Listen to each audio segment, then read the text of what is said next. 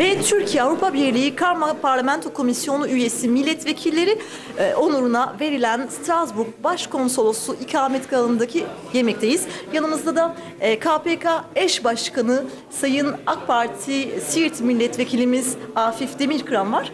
Sayın Demirkıran e, yılan hikayesine dönen Avrupa Birliği maceramızda neredeyiz? E, son gelişmeler müzakerelerde nelerdir? Üç buçuk yıllık durgunluktan sonra, üç buçuk yıl hiçbir fasıl açılmadıktan sonra geçtiğimiz yıl Ekim ayında e, 22. fasıl e, bölgesel politikalar faslının açılması ki Fransa onun üzerindeki blokajı kaldırdı. E, Daha sonra e, Aralık ayı başında e, vize diyaloğunun başlamış olması bizim e, geri kabul anlaşması imzalamış olmamız ile bu üç yıllık durgunluktan sonra yeni bir hareketi, yeni bir ivme kazandı Türkiye Avrupa Birliği ilişkileri. Biz doğrusu 10 senelik dönem içinde Türkiye'de yapmış olduğumuz reformlarla çok ciddi aşamalar kat ettik. Ama birçok fasın blokeli olmaları nedeniyle arzu ettiğimiz kadar hızlı bir müzakere e, yapamıyoruz. İnanıyoruz ve ümit ediyoruz ki Avrupa Birliği bu hatasından geri döner.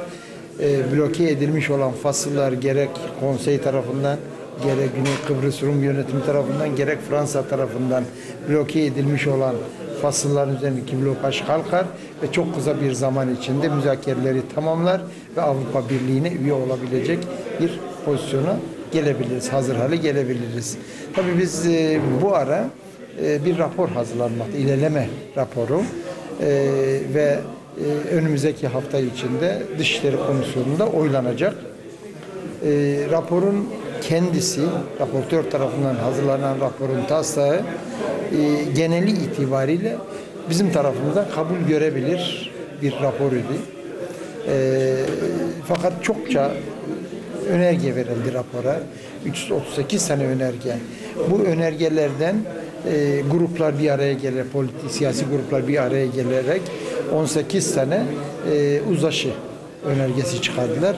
Halen e, bizim bu seyahatimiz süresince her grup kendi içinde bu önergelerin tartışmasını yapıyor ve öyle anlaşılıyor ki bu 18 tane önerge üzerinde eğer nihai uzlaşıda e, olur ise bunlar da dahil edilecek. Biz de ancak bu uzlaşı önergelerini bugün temin ettik. Bunun çalışması yapıp, çalışmasını yapıp görüşlerimizi ileteceğiz e, raportöre. E, onun dışındaki diğer e, önergeler e, de devre dışı kalacak. E, biz şunu istiyoruz her zaman bu raporlar yapıldığında. Rapor e, yönlendirici olsun. Rapor yapıcı olsun. Rapor adil olsun. Rapor e, daha bir balans bir e, durumda olsun ki hiç olmasa ülkeler aday ülke ki ben sadece Türkiye kastetmiyorum aday herhangi bir ülkenin raporundan bahsediyorum.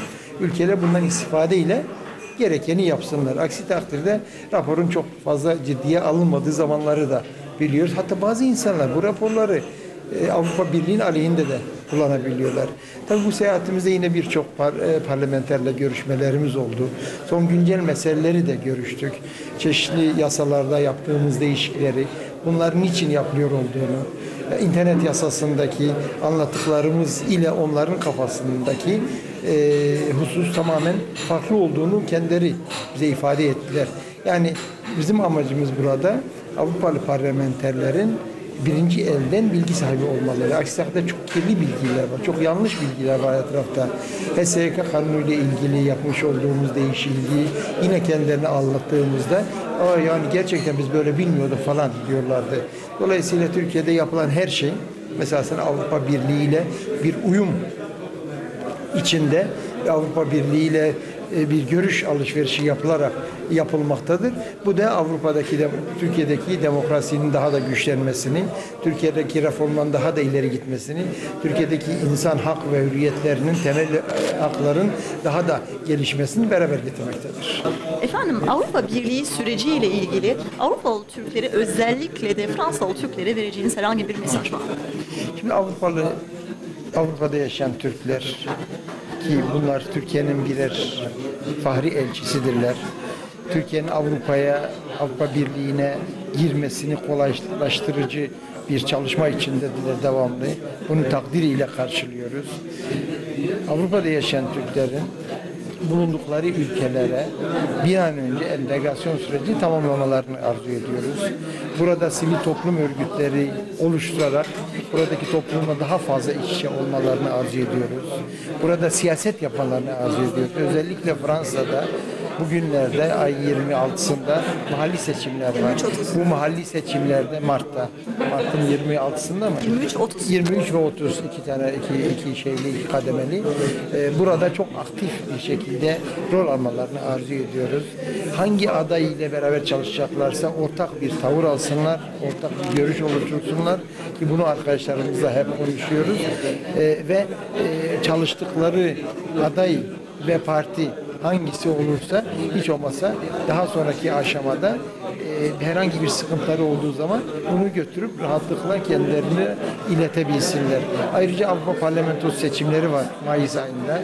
Orada da eğer mümkünse mutlaka Avrupa Parlamentosu'nda milletvekili seçebilmek için yer alabilsinler.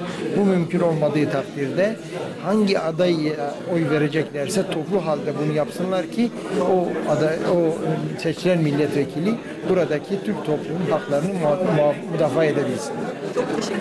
Teşekkür ediyorum.